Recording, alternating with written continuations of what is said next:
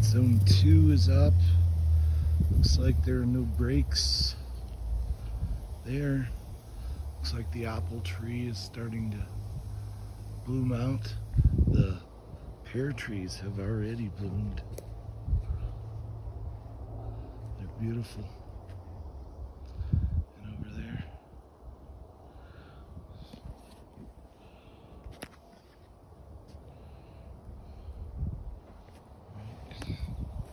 So, all zone three. Let's see. That looks good. No breaks. All right, the other apple, this apple tree finished blooming, but it bloomed on a day when the weather dropped down to like 27 or 28, so it's it's not going to produce anything this year. But uh, let's see here. Okay, those are all good. Let's skip to zone four. All right, we changed it to zone four. Oh, that's over there.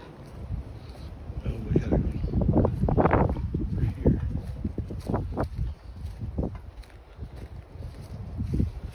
Look at that. I had a break and I, uh, I had to fix it real fast. And now I'm getting ready to go on a trip. I had to do it when it was getting dark. Well, it looks like looks like these are all good. Let's get to the next zone. All right, zone five is back there. They look like they're doing very well.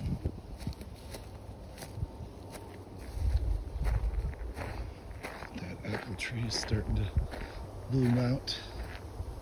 All right, these are doing great. And the reason for this head sticking up so far, I need to just shovel some dirt in there and make sure the lawnmower doesn't take it out. Anyway, those look good.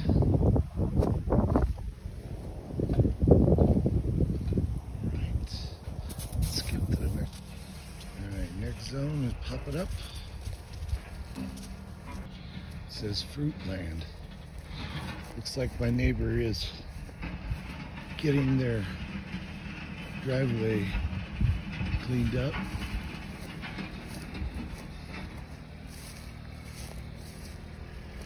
Sergio.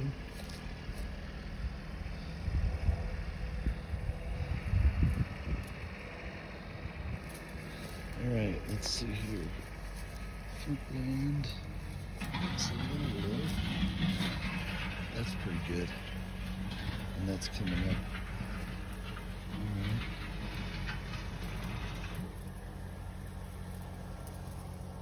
That's good for the trees.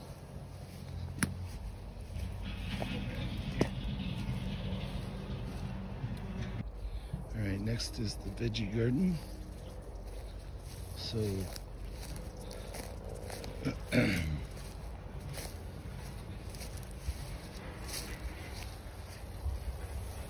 It's pulling out water. Looks like we got a head problem right there. Huh? Alright. Like everything else is going. I don't see any water spraying up, so. Alright, so this is the dry strip. So uh,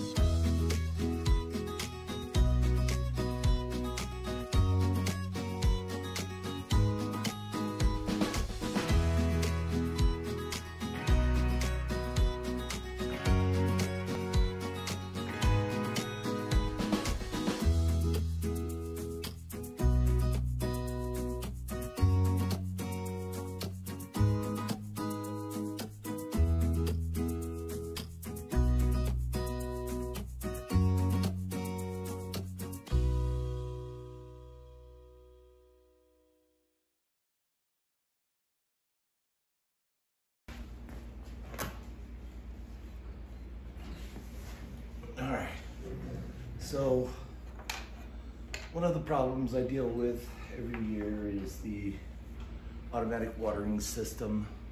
Uh, I do have uh, a beehive watering system for the yard. That's what I've been fixing, uh, those broken heads. Those are all repaired and the uh, 11 zones are, uh, are working fine. Um, but those don't, uh, those don't take care of the gardens, the flower gardens, the trees uh, that are not in the yard. Uh, so uh, I use a system, it's called uh, Link Tap. It's a waterless timer, or I mean wireless water timer and uh, it communicates with the uh, link by radio waves instead of Wi-Fi. So uh, I can put some of these things out there uh, just out of Wi-Fi range and I still get uh, signal to them back and uh, it's a phone app well, I'm recording off of my phone right now, but it's a phone app that is used to uh, tell the valves when to open and when to close. And so each year when I take it apart for the winter, uh, break everything down, I uh, remove all the batteries from these uh, valves so that uh, they don't just, uh, well, they don't fail in there and, and you know, eat the terminals up. So I've had this system for about maybe close to four years. Maybe it has been, maybe this is five, I don't know, but uh, it's worked beautifully every year. Uh, the Linksys main information center is this small little, uh, I'll show that to you later, but it, it, show that to you later, but it, it, it works off of Wi-Fi to tell my phone or the computer or whatever uh, what's happening. But uh, these communicate by radio waves. So um, right now I'm just going to uh, open them all up and put the batteries in. Uh, one thing about the batteries, I always use the uh, lithium batteries. Uh, those batteries last the entire growing season until I have to take them out to uh, to winterize. So it uh, they last a long time. So, I'm, I'm old, so I gotta have cheaters.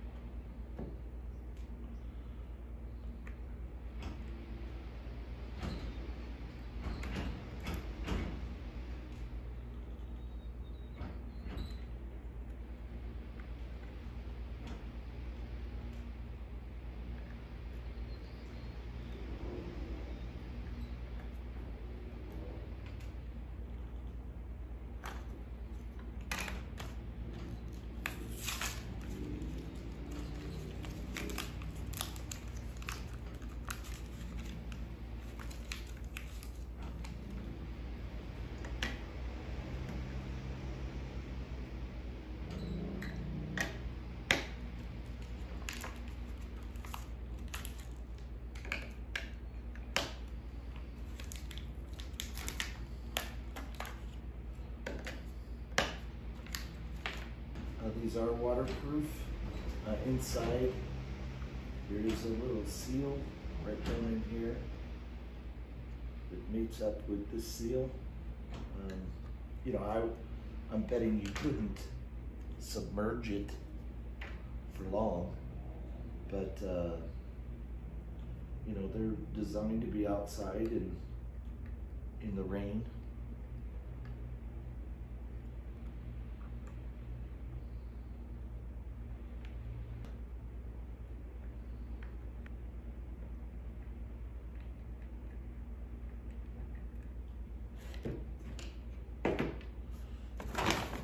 On to the next one.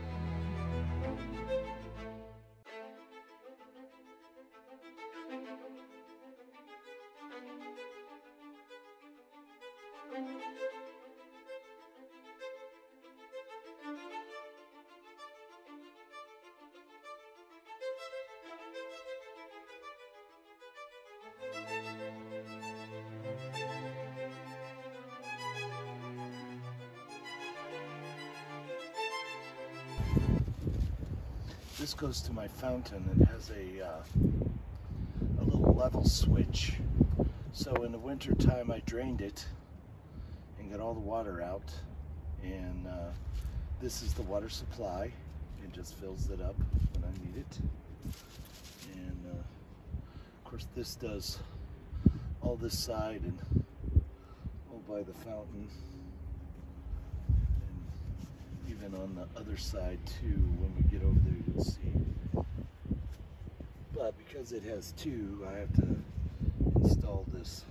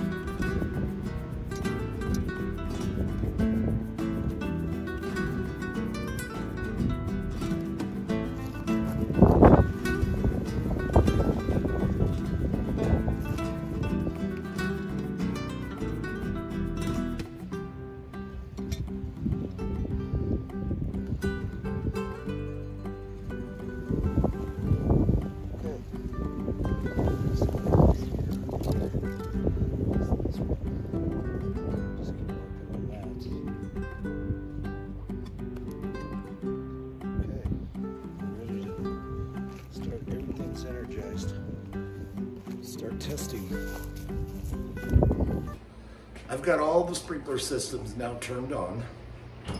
All the programs are set. Tomorrow I expect to uh, hit a spot that I haven't seen in a while. And I've got to find the property flag in two spots. And uh, hopefully we'll be meeting uh, one of the people that might be cutting down that tree. So we'll see what happens on that.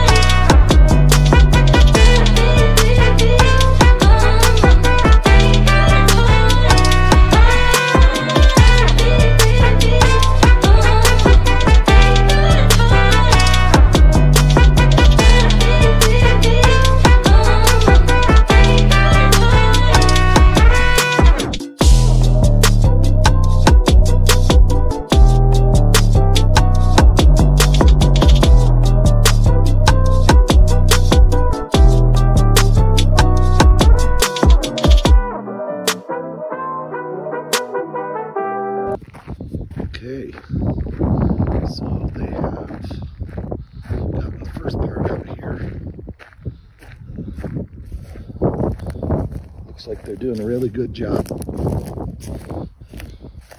This was a really big tree.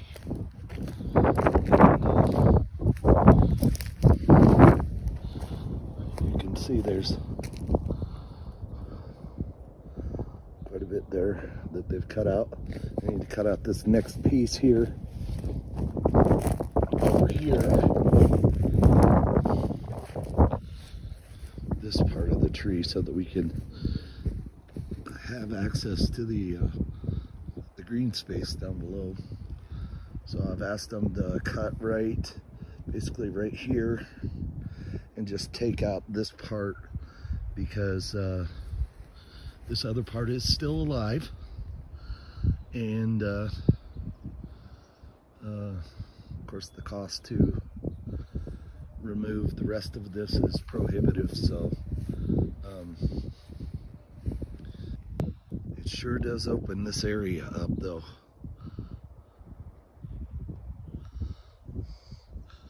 I think uh, that's really going to help these fruit trees.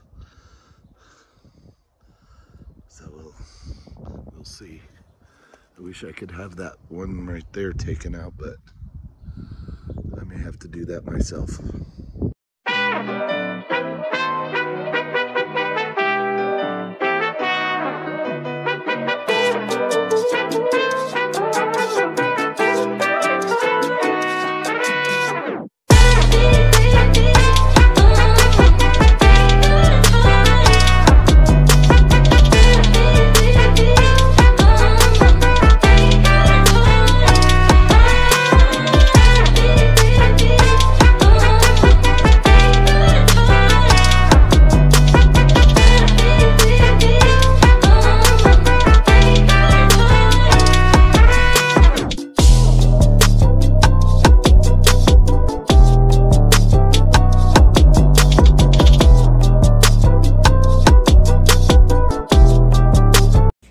So the camera ran out of power. Uh, I've got some kind of thing going on here. I don't feel bad, but uh, got a little ch uh, chest congestion going on. So sorry for the audio. But, uh, you know, a couple of things happened uh, at the end there. Uh, my phone just ran out of battery and shut down, so I didn't get to watch the last of the guys taking the uh, the rest of that wood to the dump. Uh, it's amazing process, you know, the way they stamp that down and really pack it. But uh, the other thing is that I was gonna try to uh, do a point of view uh, video where uh, I had a chest harness and I had my phone strapped on there and I turned the phone on and then I put it in that chest harness and I used the uh, John Deere to do a lot of the green space uh, cutting and a lot of the, uh, well, all of the yard. Except when I looked at it when I was all done, it never turned on. So I missed all of that. So anyway, sorry about this head cold, guys. Uh, thanks for watching and uh, you know, see you next week.